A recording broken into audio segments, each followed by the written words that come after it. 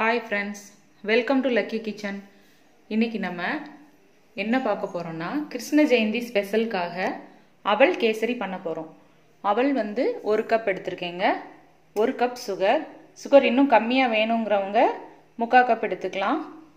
கொஞ்சம் திராட்சை கிஸ்மஸ் கொஞ்சம் முந்திரி ஒரு டீஸ்பூன் ஏலக்காய் தூள் தேவையான அளவு நெய் எடுத்துக்கலாம் தண்ணி. அவ்வளோதாங்க இதுக்கு தேவையான பொருட்கள். இது கிருஷ்ண ஜெயந்திக்கு ஏதாவது விசேஷமான நாட்களுக்கு இது தாராளமாக இந்த அவல் கேசரி வந்து நம்ம பண்ணிக்கலாம். ரொம்ப ஈஸியும் கூட. எப்படி பண்ணுறதுன்னு பார்க்கலாம். ஒரு கடாயை ஸ்டவ்வில் வச்சுருக்கேங்க. கடாய் சூடானதும் இப்போ நம்ம எடுத்து வச்ச அவலை இதில் சேர்த்து வறுத்தெடுத்துக்கலாம். கடாய் சூடாயிருச்சு. இப்போ நம்ம அவலை இதில் சேர்த்து நல்லா வறுத்து எடுத்துக்கலாம் நான் வந்து இந்த மாதிரி பொடுசாக இருக்க தட்டையாக இருக்கும் இல்லையா? அந்த அவல் தான் எடுத்திருக்கேன். கலர் சேஞ்ச் ஆகணும்லாம் இல்லை.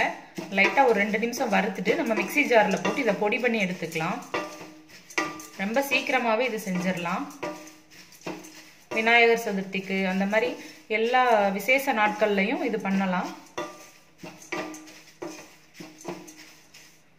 வறுக்கவும் நல்லா அந்த அவல் வந்து நல்லா ஸ்ட்ராங்காக ஸ்டிஃபாக ஆகுது.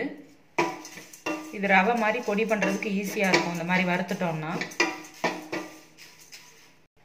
ரெண்டு நிமிஷம் நல்லா வறுத்தாச்சு. நல்லா ஸ்டிஃப் ஆகிடுச்சு பாருங்கள் அப்படி உடச்சா உடையுது. அவ்வளோதான் நம்ம இப்போ ஆஃப் பண்ணிடலாம்.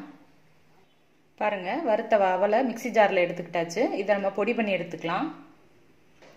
பாருங்கள் இந்த ரவை கொஞ்சம் ரவை மாதிரி இந்த மாதிரி அடித்து எடுத்துக்கோங்க. ரொம்ப நைஸாகவும் வேண்டாம். கொஞ்சம் குறை குறைப்பாக அந்த மாதிரி அடித்து எடுத்துக்கோங்க. இப்போ கடாயை ஸ்டவ்வில் வச்சுருக்கேங்க.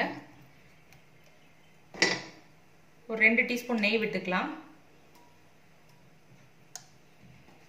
நெய் சூடானதும் அதில் இந்த முந்திரி பருப்பையும் கிஸ்மஸ் பழத்தையும் வறுத்து எடுத்து வச்சுக்கலாம். முந்திரி கொஞ்சம் வறுபட்டவுடனே நம்ம கிஸ்மஸ் பழம் சேர்த்துக்கலாம்.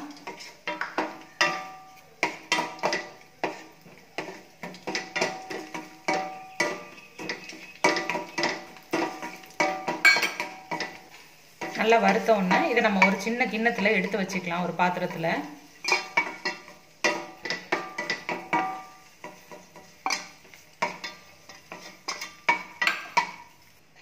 இந்த கடாயிலே இப்போ நம்ம ரெண்டு ரெண்டு கப் தண்ணி எடுத்துக்கலாம். இந்த எந்த கப்பில் அவள் எடுத்தோமோ அந்த கப்பில் ஒரு ரெண்டு கப் நான் தண்ணி விட்டுருக்கேன். தண்ணி நல்லா கொதிச்சு வரட்டும். தண்ணி கொதி வந்துருச்சு. இப்போ கொதி வந்த உடனே நம்ம பொடி பண்ணி வச்ச அவளை கொஞ்சம் கொஞ்சமாக சேர்த்து நல்லா அந்த மாதிரி கிண்டி விட்டுக்கலாம்.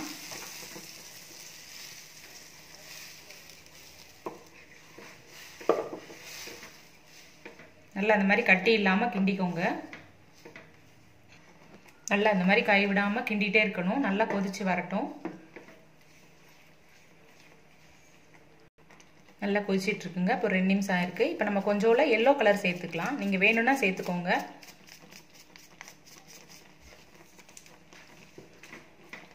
நல்லா இந்த மாதிரி மிக்ஸ் பண்ணி விட்டுக்கோங்க. பாருங்கள் முதல்ல இருந்ததை விட இப்போ கொஞ்சம் கெட்டியாயிருக்கு. கொஞ்சம் அவல் வெந்த உடனே ஒரு ரெண்டு நிமிஷத்தில் வெந்த உடனே நம்ம சுகர் சேர்த்துடலாம். ஸ்டவ்வை சிம்மில் வச்சு இந்த மாதிரி கிண்டிக்கிட்டே இருங்க.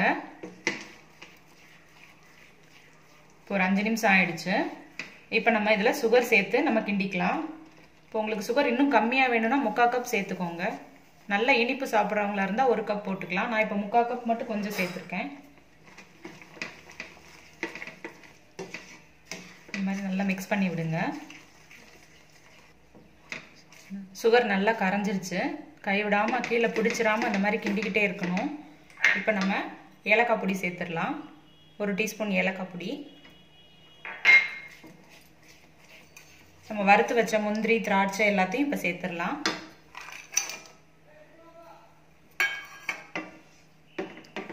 முதல்ல ஒரு ரெண்டு டீஸ்பூன் நெய் விட்டோம். இன்னும் கொஞ்சம் மேலே நெய் விட்டுக்கலாம். ஒரு ஒரு டீஸ்பூன் போதும். நல்லா மிக்ஸ் பண்ணி விட்டுக்கோங்க. பாருங்கள் இப்போ இந்த மாதிரி தான் இருக்கும். கொஞ்சம் ஆறினவுடனே நல்லா கெட்டி ஆகிடும் அவ்வளோதான் இப்போ நம்ம ஸ்டவ் ஆஃப் பண்ணிடலாம். அவல் கேசரி ரெடி ஆகிடுச்சு பாருங்கள் கேசரி சூப்பராக ரெடி ஆகிடுச்சு நீங்களும் இது மாதிரி பண்ணி பாருங்கள் எப்படி இருக்குன்னு கமெண்ட் பண்ணுங்கள் நான் போடுற வீடியோஸ் உங்களுக்கு பிடிச்சிருந்தா சப்ஸ்கிரைப் பண்ணுங்கள் தேங்க்யூ